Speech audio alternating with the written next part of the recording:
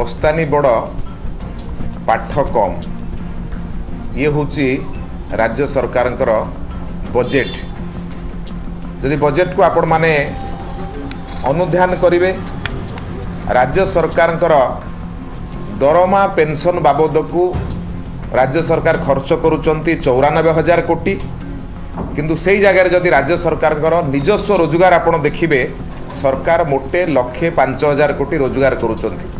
ଅର୍ଥାତ୍ ଦରମା ପେନ୍ସନ୍ ଦେଇ ସାରିଲା ପରେ ସରକାରଙ୍କ ପାଖରେ ପଇସା ଘର ଶୂନ ତାହେଲେ କିଭଳି ଭାବରେ ସରକାର ବାକି ବଜେଟକୁ ପୂରଣ କରିବେ ତାହା ଏକ ଆଶ୍ଚର୍ଯ୍ୟଜନକ ପ୍ରଶ୍ନ ଏଇଠି ଯଦି ଆମେ ଦେଖିବା ସରକାର ଲୋନ୍ କରୁଛନ୍ତି ପଇଁଚାଳିଶ ହଜାର ପାଞ୍ଚଶହ କୋଟି ଏବଂ ଭାରତ ସରକାରଙ୍କର ବିଭିନ୍ନ କେନ୍ଦ୍ରୀୟ ଅନୁଦାନ ମିଶିକିରି ଅଣାଅଶୀ ହଜାର କୋଟି ହେଉଛି ଅର୍ଥାତ୍ ଯଦି ଓଡ଼ିଶା ବଜେଟ୍ ଚାଲିବ ତାହେଲେ ବଜେଟ୍ରେ କେବଳ କେନ୍ଦ୍ର ସରକାରଙ୍କର ଅଣାଅଶୀ ହଜାର କୋଟି ହେଉଛି ଏକ ମୁଖ୍ୟ ସୋର୍ସ ଯାହାକୁ ନେଇକରି ଓଡ଼ିଶାର ବଜେଟ୍ ଚାଲିବ ତେଣୁ ରାଜ୍ୟ ସରକାର ଯେଉଁ ବିଭିନ୍ନ ସମୟରେ ଡିଣ୍ଡିମ ପିଟୁଛନ୍ତି ଯେ ଆମେ କରିଦେଲୁ ତାହାର ବାସ୍ତବତା ଏଥିରେ ନାହିଁ ପୁରାପୁରି ଭାବରେ ଏ ବଜେଟ୍ କେନ୍ଦ୍ର ସରକାରଙ୍କର ଅଂଶଧନ ଉପରେ ନିର୍ଭରଶୀଳ ବଜେଟ୍ ୟାକୁ ମୁଁ ଆପଣମାନଙ୍କ ଆଗରେ କହିବାକୁ ଚାହେଁ।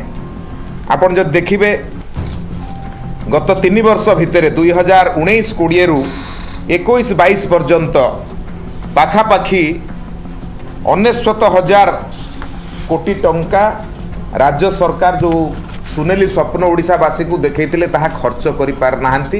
ପଡ଼ିକି ରହିଛି ନିଜସ୍ୱ ବଜେଟ୍ରେ। ଇଏ ହେଉଛି ରାଜ୍ୟ ସରକାରଙ୍କର ବାସ୍ତବ ସ୍ଥିତି।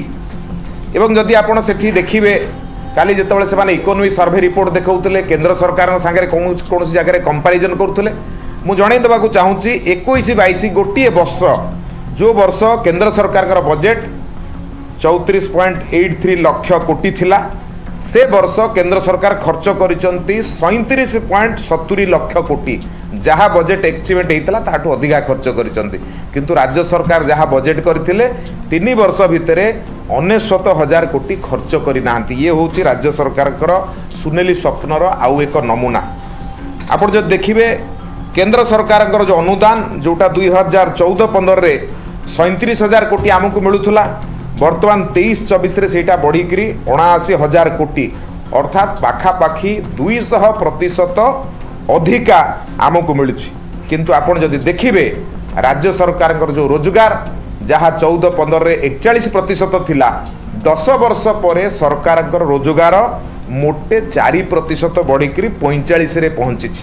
ଦଶ ବର୍ଷ ପରେ ବି ରାଜ୍ୟ ସରକାର ନିଜସ୍ୱ ରୋଜଗାରକୁ ବଢ଼େଇ ପାରୁନାହାନ୍ତି।